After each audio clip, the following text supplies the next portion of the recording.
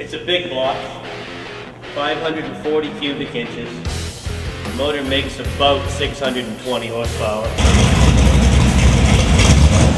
In case that's not enough, it's got a 250 shot of nitrous, two bottles, carry around five pounds all the time.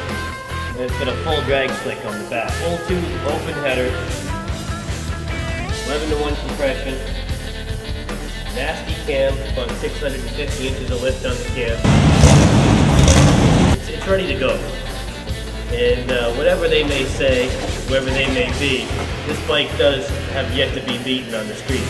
Nothing's pulled up on this bike on the street and pulled away.